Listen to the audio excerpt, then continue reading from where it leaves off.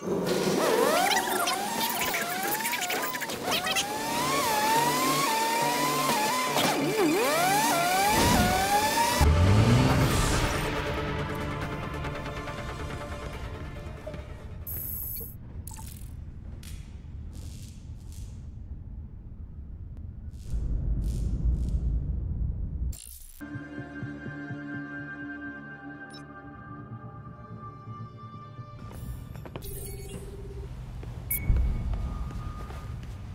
I can't get over what Talia did to her father's body back there.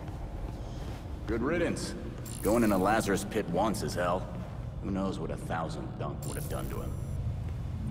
So you think it really was a show of mercy? Oh, she was putting on a show all right.